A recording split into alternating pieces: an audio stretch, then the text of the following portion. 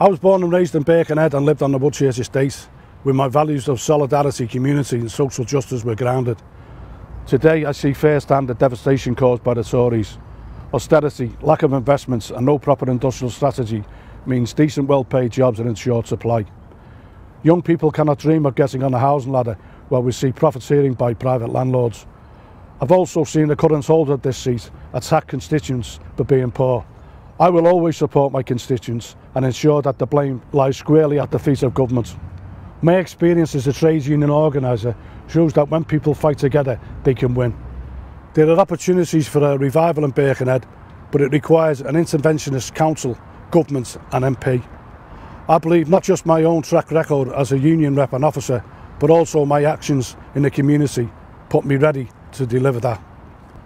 I've always supported Jeremy Corbyn and my determination It's the same in number 10. I will work tirelessly for Birkenhead and to get the government, a common government, we all need. I will always be Birkenhead's voice in Westminster, not Westminster's voice in Birkenhead.